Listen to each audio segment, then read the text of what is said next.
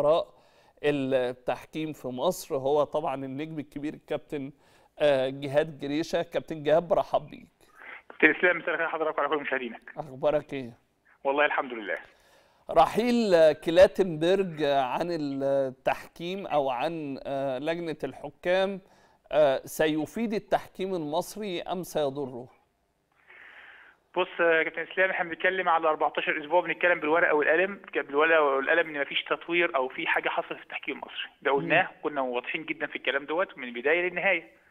الراجل ما اضافش حاجة للتحكيم المصري الراجل ما فيش تطوير ما فيش أداء جديد في التحكيم المصري بالعكس الأخطاء السنة دي نفس الأخطاء السنة اللي فاتت.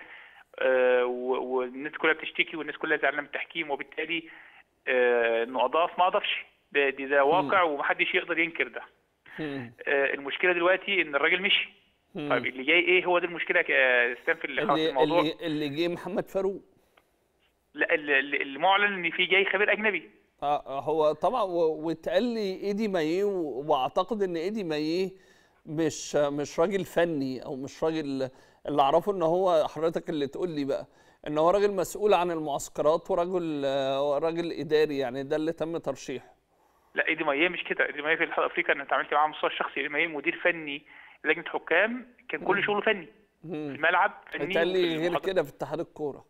أنا بتكلم في في, الاتحاد الأفريقي. لما كان مسؤول كان راجل مدير فني الاتحاد الأفريقي وعضو لجنة حكام الاتحاد الدولي راجل مسؤول فني. فني يعني شغل technical في الملعب. ما كانش ما كانش إداري. فلا إيدي كان شغل فني لكن إيدي حاليا في سيشل أنا عارف إن هو فتح project جديد مشروع جديد وشغال في سيشل ما أعتقدش إنه يبقى مطروح في الاتحاد المصري يعني. ما هو وجه الإصرار على تعيين خبير أجنبي للجنة الحكام؟ أنا ما أعرفش في الآخر في الآخر يا إسلام ده اختيار اتحاد الكوره ونحترمه. بس إحنا عايزين بقى يعني أنا بتكلم عشان صالح ده والله صالح تحكيم مصري لا ليه ولا جمال في القصة يعني إحنا عايزين نستفيد من أخطاء التجربة اللي فاتت. كان عندك تجربة بكل عناصرها فشلت فشلت. وبالتالي عايزين نستفيد من الفشل ده إن إحنا نطور وننجح في اللي جاي محتاجين لو هتجيب بقى خبير أجنبي زي ما أنت بتقول هات خبير أجنبي قاعد لك 24 ساعة ما يسافرش.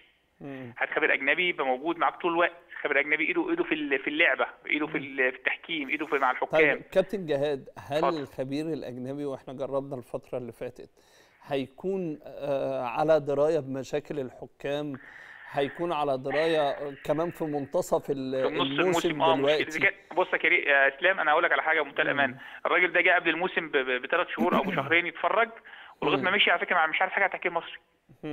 يعني لغاية ما مشي بكلام ده في نص الموسم هو مش يعني في حاجات كتير ما يعرفهاش عن التحكيم المصري هو ال- التجربة محفوظه مخاطر بس أنا بتكلم على الأقل أنت ما دام قررت بقى كاتحاد كورة أنت جايب خبير أجنبي على الأقل نحاول الأخطاء اللي كانت موجودة مع الخبير الأجنبي اللي مشي نحاول نصلحها مع الخبير الأجنبي اللي جاي لعل وعسى.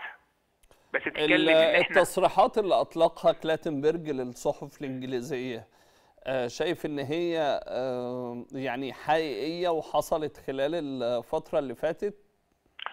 أنا ما أعرفش مش متأكد من الكلام بس أنا أنا عندي علم كمان إن في بكرة مؤتمر صحفي ليه في إنجلترا كمان. يعني أنا أنا عندي علم إن هو بكرة في عنده مؤتمر صحفي في إنجلترا هيحكي على كل التفاصيل الفترة اللي قضاها في مصر.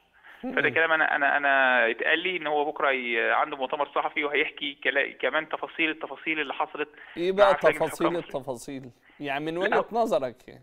لا هو هيتكلم بقى في تفاصيل إحنا ما نعرفهاش. يعني أنا بتكلم هو إذا كان هو زعلان من حاجة فيحكي بقى اللي زعلان منه. في, في الشغل في التحكيم في الناس اللي اشتغل معاه. ده الكلام ده اللي, اللي, اتقال إن هو هيحكي بكرة يعني مؤتمر صحفي بكرة في إنجلترا وهيحكي كل التفاصيل. في الآخر في الآخر إحنا آه عايز أقول لك آه، إن دي دعاية سلبية.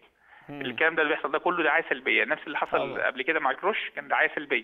إحنا برضو بنتكلم على اسم مصر إسلام ويهمنا اسم مصر سواء في التحكيم سواء في الكورة في الآخر دي دعاية سلبية. أتمنى إن شاء الله تعدي على خير عشان خاطر اسم مصر وأتمنى اللي جاي آه، يكون خير للتحكيم لاننا برضو ما خرجناش من النفق اللي دخلنا فيه من سنتين ثلاثة نفس النفق اللي ماشيين فيه إن إحنا مش عارفين نخرج التحكيم المصري من الكبوة اللي هو فيها ب- سواء الخبير اللي جاي اللي مشي أو الخبير اللي جاي. فإحنا في الآخر أتمنى التوفيق الاختيار يبقى صح أتمنى التوفيق ان يترسم خريطة الطريق صح عشان نخرج من الطريق اللي إحنا ماشيين فيه آه، للتحكيم المصري.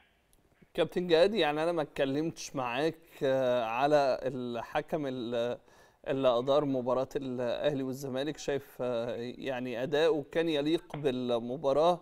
البعض شايف إن هو كان طبعا لم يخطئ أي أخطاء تحكيمية تسببت في في التأثير على النتيجة البعض شايف إن آه، قبل الثلاث أهداف للنادي الأهلي كان في ركلة جزاء لنادي الزمالك حضرتك شايف إيه؟